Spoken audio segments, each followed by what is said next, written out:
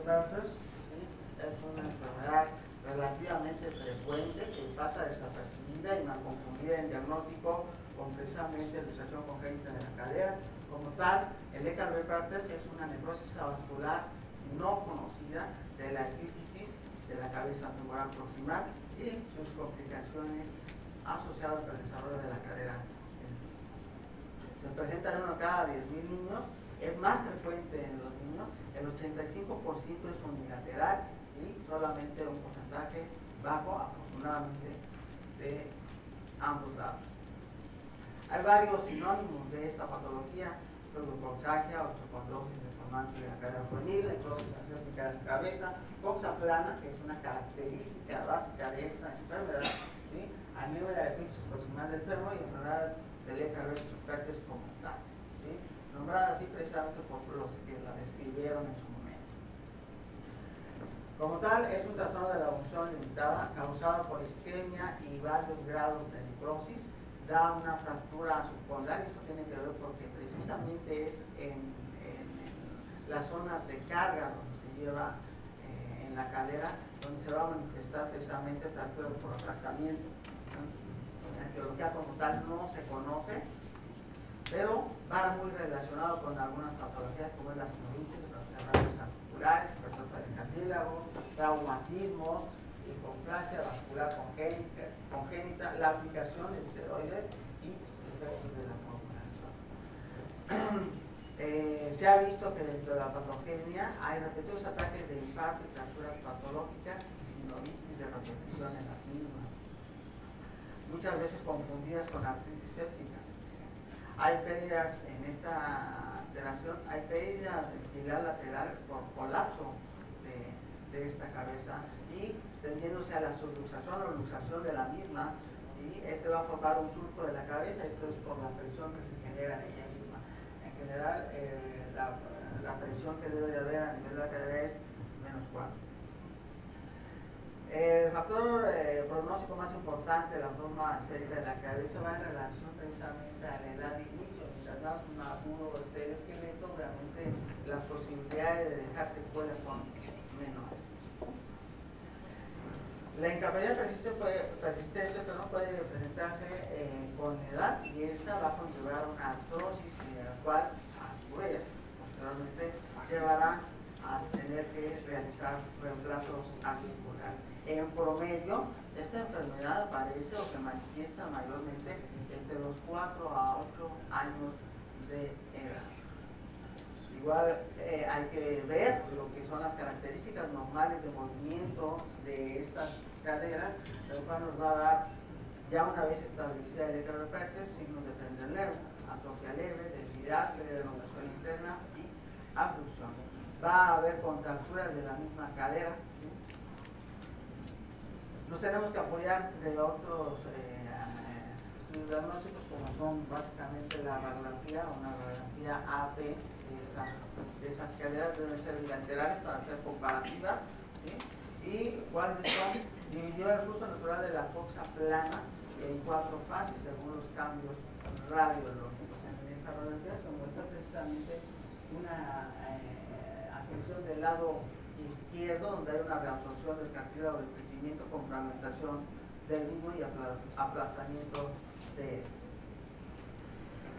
Dentro de esas clasificaciones, en la fase 1 va a haber una fase sinolítica, donde hay solamente un proceso inflamatorio. En la fase 2 ya hay un colapso por la necrosis. En la fase 3 ya hay, una fragmentación y signos de regeneración de la misma. En la fase 4 ya hay una reconstitución de y donde ya se puede observar radiológicamente el aplanamiento de esa cabeza y que le da el homónimo a foxa plana. Cabe señalar que dentro de los estudios radiológicos el tamaño menor del núcleo significante del primario, que es de la cabeza tomal, va ya a tener un ensanchamiento y va a haber líneas de fractura de las radiografías no son lo único apoyo que nosotros tenemos, sino también lo que es la ecografía para poder determinar si hay, derrames, eso sobre todo en las fases primarias, este, va a haber sinovitis. Deben de ser las caderas comparativas. También tenemos que tomar la gammación para ver si hay captación, obviamente, de, esas La resonancia, entonces, una, nos va a dar una evidencia de necrosis medular, irregularidad de la cabeza y pérdida de la señal del lado afectado. Hay que hacer diagnósticos diferenciales, vuelvo a repetir, esta patología es a veces desapercibida, además cuando no tenemos experiencia, y esto puede ser eh, diagnosticada diferencialmente con una sinovitis tóxica, procesos infecciosos, es de los más que hay, esta, esta patología, lo que es la artritis séptica es con lo que lo confunden mucho. Fiebre reumática, tuberculosis, tumores, displasia de huesos o hipotiroidismo. Dentro de las clasificaciones hay varias, y esto va a ser según la extensión y el grado. Dentro de algunas clasificaciones está la de Henry, y esto es por porcentajes de la cabeza femoral.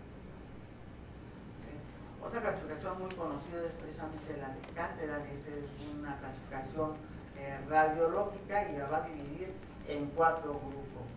Cuatro grupos el cual la forma más leve será solamente un 25% tomada de la cabeza tumoral, en la grado 1, cuando ya afecta el 25 al 50 grado 2, la 350 al 75 y obviamente cuando ya hay un colapso de tal de cabeza es el 100% de la grado 4. El tratamiento pues, debe ser enfocado a según el aspecto psicosocial de ese paciente, proporcionar una contención de esa cadera para que no conlleve a alteraciones secundarias a esta eh, a una artrosis intentar mantener eh, una cobertura dentro de la cabeza femoral con el acetábulo y una movilidad por ende de esta cadera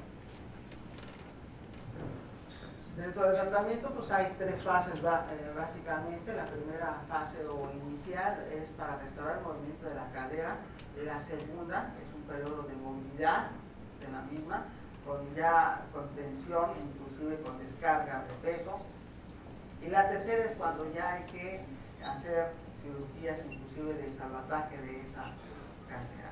Hay varios aparatos que pueden llegar a colocar, que Schneider, Sayan, en fin, un sinnúmero de aparatos de descargas que podemos antes de hacer un tratamiento intervencionista de esos pacientes. Solamente al causar dolor tenemos que administrar analgésicos. Muchas veces eh, una de las cosas que coloca el médico son esteroides, cosa equivocada.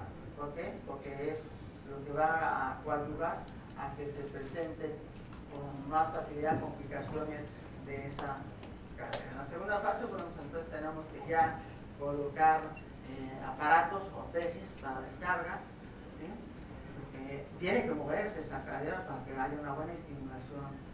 Aquí hay ejemplos de algunas ortesis, como es una espica, por ejemplo, o este, aparatos de yeso Petri, aparatos dinámicos como el tirante de Schneider,